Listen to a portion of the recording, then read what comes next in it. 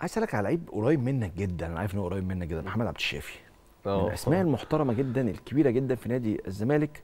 وطبيعي هسيبك تتكلم عنه شوية بس قبل ما تكلمني عنه شوية أنا عارف محمد عبد الشافي عمل فيك مقالب كتير. كتير أه. كتير صح؟ كتير، آه. فاكر منهم واحد؟ فاكر فاكر حاجات عبد الشافي بيحب ال ما يبانش عليه بالمناسبة. لا لا هو على فكرة هو برضه نفس نوعية رؤى كده مؤدب جدا وهادي جدا و... مش ما يبانش عليه مقالب يعني. لا هو المقالب بقى يعني هو بيحب الزواحف. أه. تعابين بقى والحاجات الحية مش هو دماغه كده يعني.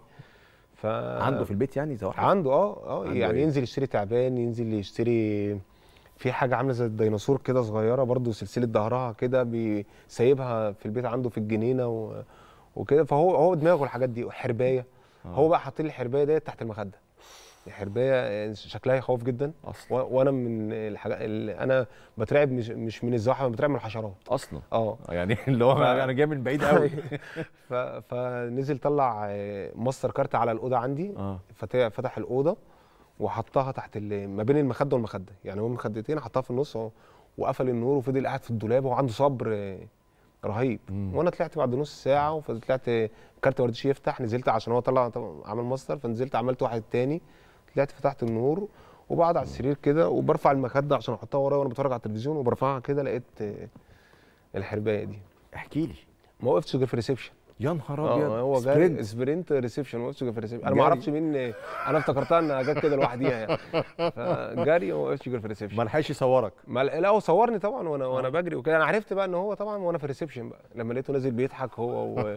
وليه صديقه في كل حتة معاه وعشرة عمره اسمه ماندو. آه. لقيته نازل عرفت إن هو معاه لما عرفت إن هو عملت عرفت إيه. انه ما بقدرش اعمل له حاجة. ما تقدرش ما بقدرش اعمل له تقدرش. حاجة لا. أنت بس أنت بتخاف من حاجة تانية أنا عرفت برضه. إيه؟ بتخاف من الطيارات. بترعب من الطيارات. إيه بقى الحكاية أنا دي؟ لو كان في العقود ينفع أمضي زي بيركم بكده إن أنا ما بيركم برافو عليك. كنت لسه أقول لك آه، بيركم كان واحد من كنت الاسماء. الكبيره في تاريخ أرسنال وهولندا يعني. بتخاف من الطيارات. بترعب منها. آه. يعني حصل ما أعرفش الأجواء في أفريقيا بقى وحشة ولا إيه. آه. فحصل معانا كام موقف في في طيران كده فقفلت منهم في في بداية صعود يعني. إيه اللي حصل؟ مرة العجل ما رضيش يفتح. العجل ده وفضلت الطيارة تعمل حوالين المطار لغاية لما ربنا كرم بعد نص ساعة كنت بتفكر في إيه بقى ساعتها؟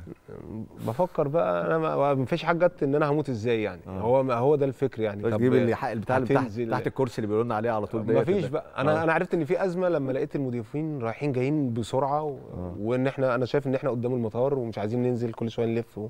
آه فبسأل آه، لقيت آه، عرفت إن في مشكلة بقى في العجل وكده فدي من ضمن الحاجات اللي خلتني قلت لو حصلت تاني يعني أنا مش عايز اركب.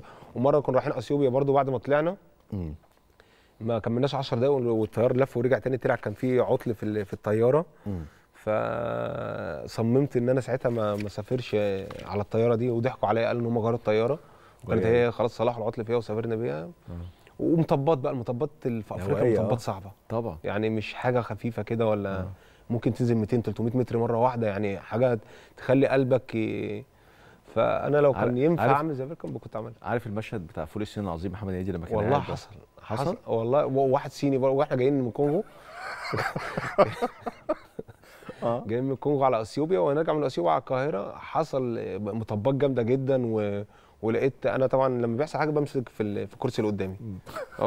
خايف. فلقيت هو باصص لي وبيضحك. نفس ال... المشهد اللي هو الضحكة المستفزة دي كنت أنا باكل آه كان حمادة طلب قاعد جنبي وكنا بناكل لب. آه. يعني كان حاطط فمرة واحدة حصلت الحاجات دي فأنا ماسك فبلف لقيته بيضحك فرحت حادف عليه شوية اللب ده كان هتحصل مشكلة يعني. آه. بس دي من ال- الحاجات اللي قالت لي لا طيران تاني. يعني أنا لو في طيران بمزاجي الجونة كنت أنا بروح بالعربية. أستأذن؟ أصلا. أو أروح آه. بالعربية. أو أروح مع الأتوبيس. آه.